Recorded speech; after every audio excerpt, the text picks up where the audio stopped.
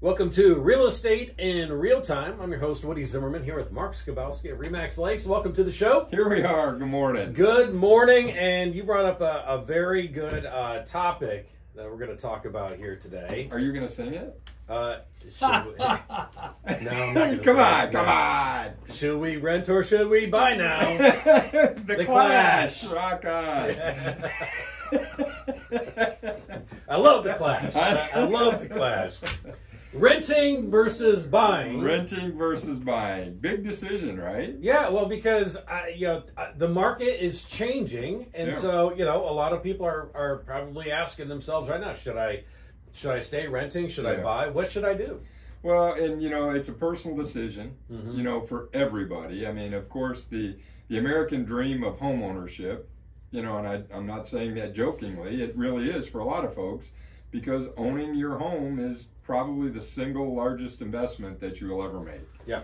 So it's a huge decision, and you know, all of us are going to approach that decision differently.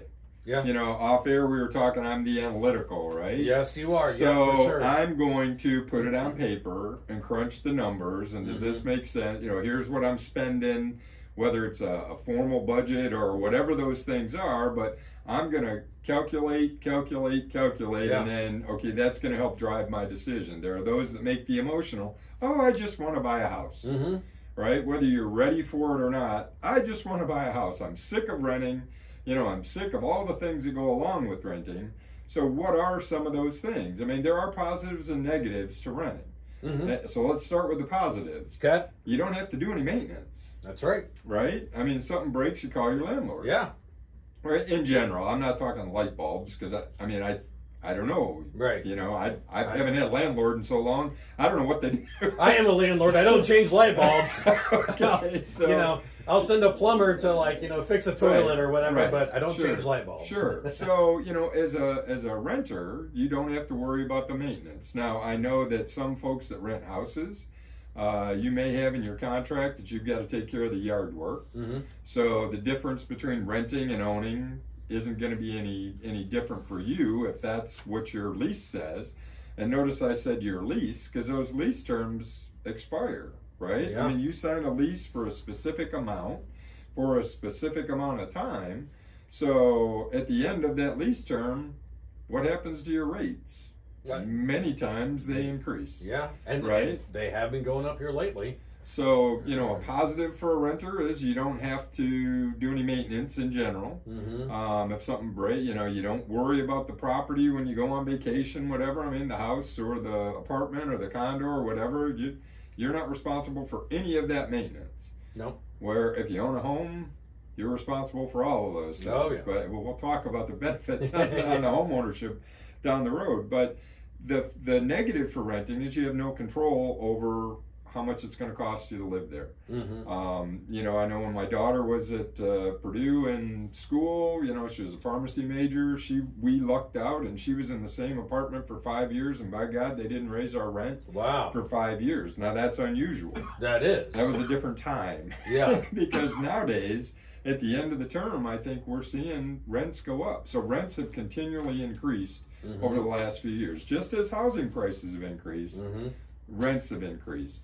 So if you're thinking about should I rent or should I buy, you know, what goes on there? What for you can you afford if your rents increase Mhm. long term?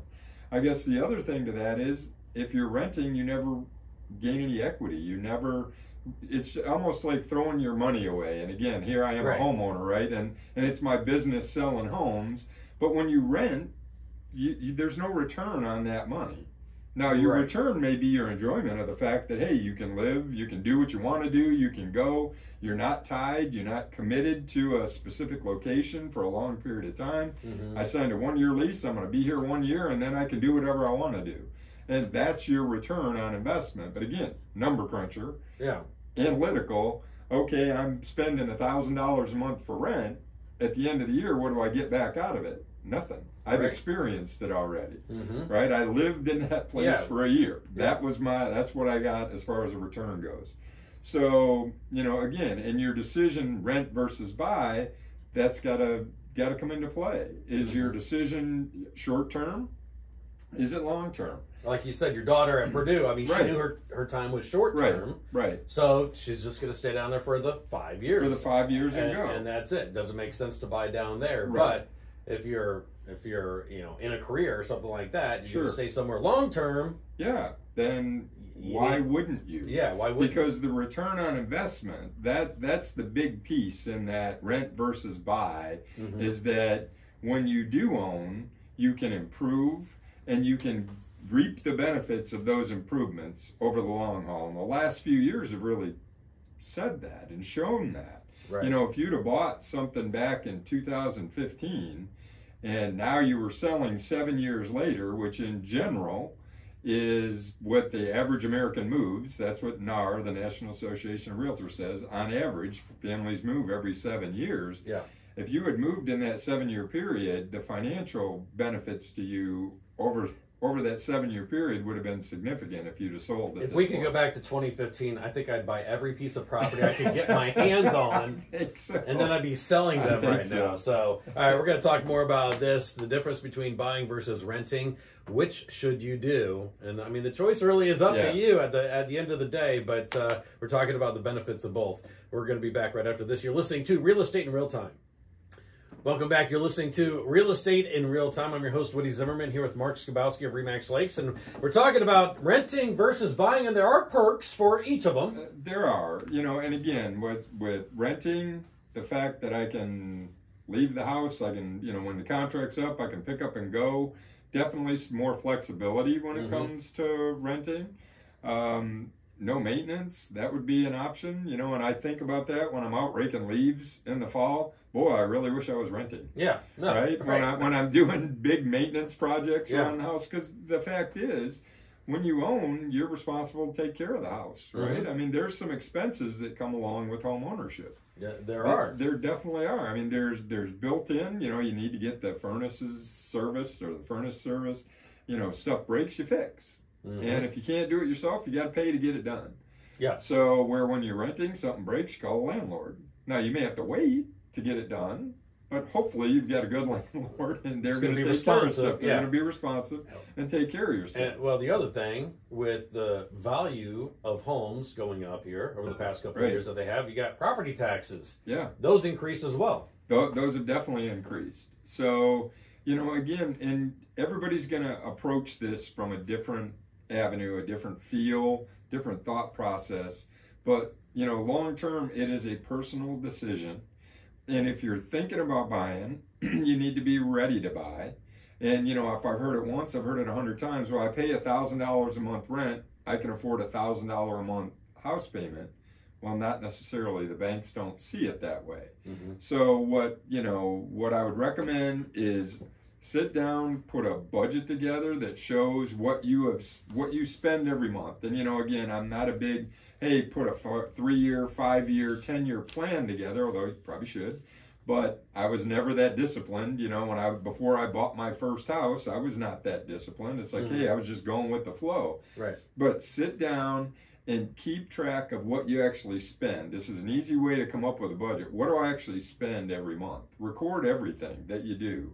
And if you're using a debit card, it's really easy because you see all the withdrawals out of your checking Right. account, You right? sure do. This is the old guy who, you know, we used to have cash. Of course, you got the the other models, which are put everything in an envelope, right? Put your spending money in it. You got a entertainment of this, that, and the other thing. right. Right. But the fact is, keep track of what you're spending for a couple of months, and that'll really tell you where your money's going. Well, it's an eye opener. I mean, you should do that, I, I, I, whether you're buying or not, Right, I think right. you should do that because it's truly an eye opener on how much money that's going out the door. It, it is, and and ultimately, why are we talking about budgeting and expenses and stuff when we're doing a show on rent versus buy? Yeah. Well, because if you're going to make a long-term commitment to Yeah. a purchase, you want to make sure you can you can Afford afford, that before you get to there. Yeah. That's the purpose of having that discussion. And, you know, along the way, something that folks a lot of times don't even, you know, there's still a perception that you have to have 20% down when you're making that decision. So some people make that I have to stay renting because I don't have 20% down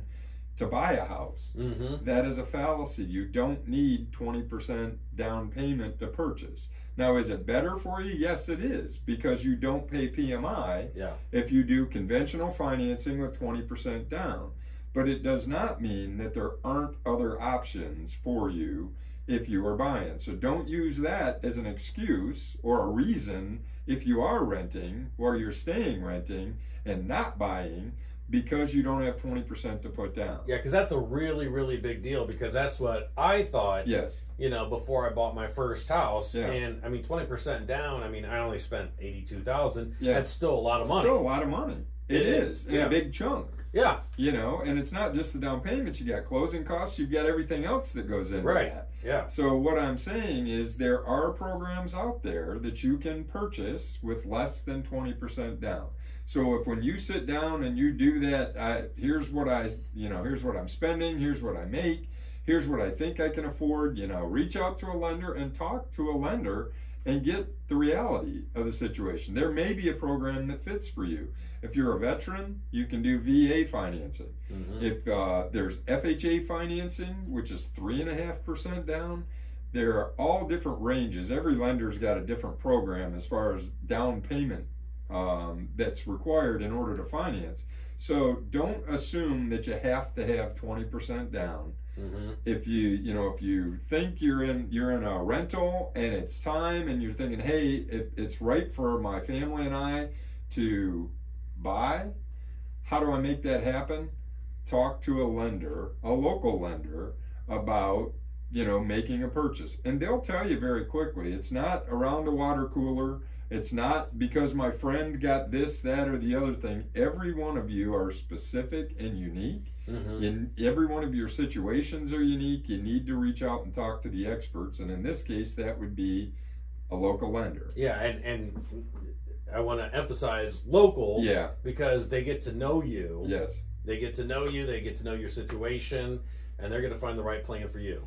They are, and I guess the other thing is you can walk into their office Yeah, or pick up the phone and talk to the same person yeah, that's rather than getting transferred from a call center in California to Missouri to New York.